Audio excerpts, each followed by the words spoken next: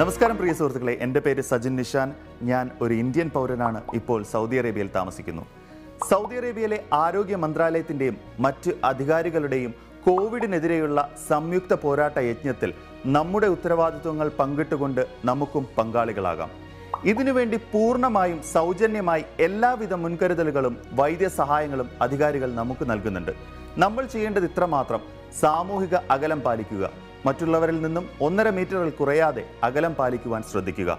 വീട്ടിൽ നിന്നും പുറത്തിറങ്ങുമ്പോൾ എപ്പോഴും മാസ്ക് ധരിക്കാൻ ശ്രദ്ധിക്കുക. കൈകൾ ശുചിത്വം എപ്പോഴും ഉറപ്പുവരുത്തുക.